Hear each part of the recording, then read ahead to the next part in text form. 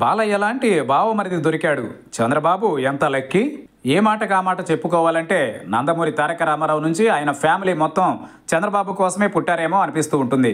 ఎన్టీఆర్ కూతుర్ని ఇచ్చి పెళ్ళి చేశారు. పార్టీలో సముచిత స్థానం ఇచ్చారు. ఆయనకి ఎప్పుడైనా ఇబ్బంది వస్తే చూసుకోవడానికి బాలయ్య లాంటి బావమరిదిని ఇచ్చారు. పక్క పార్టీల్లో ఉంటూ పరోక్షంగా సపోర్ట్ చేయడానికి పురంధేశ్వరి లాంటి వదినను ఇచ్చారు. అని గత కొన్ని రోజులుగా తెలుగు రాజకీయాల్లో ఒక చర్చ నడుస్తోంది. ఆ చర్చకు బలం చేకూరుస్తూ తాజాగా బాలకృష్ణ ఆహా యాప్లో వచ్చే అన్స్టాపబుల్ షో లిమిటెడ్ ఎడిషన్లో ఒక డైలాగ్ వేశారు.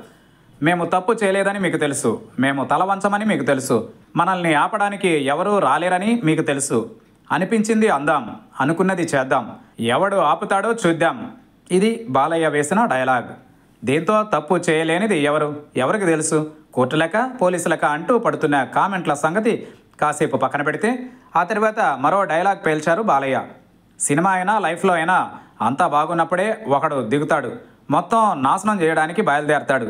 మళ్ళీ సెట్ చేయడానికి హీరోలు జైలు నుంచి బయటకు రావాలి అని. దీంతో పార్టీలో పాతుకుపోతాడేమో అని పక్కకెళ్ళి ఆడుకోమని పంపించేసినా కూడా ఇంత తాపత్రయపడుతున్నారు అనే కామెంట్లు వినిపిస్తున్నాయి. వివరాల్లోకి వస్తే ఇదిలా ఉంటే అన్స్టాపబుల్ మూడో సీజన్ తాజాగా ప్రారంభం కానున్న సంగతి తెలిసిందే.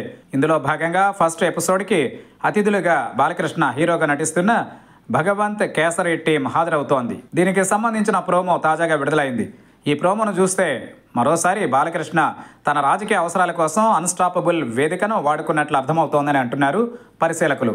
దీంతో బాలయ్య పైన చెప్పిన డైలాగ్స్ విన్నవారు మాత్రం వ్యవహారం కోర్టు పరిధిలో ఉన్నప్పుడు ఇలాంటి డైలాగులు కాలక్షేపానికి బాగానే ఉంటాయి. కానీ వాస్తవంలో అబ్బెట్టుగా ఉంటాయనే మాటలు వినిపిస్తున్నాయి. కాగా స్కిల్ డెవలప్మెంట్ స్కామ్ అనంతరం రెండు రోజులు పార్టీ ఆఫీస్లో బాలయ్య సందడి చేసిన సంగతి తెలిసిందే.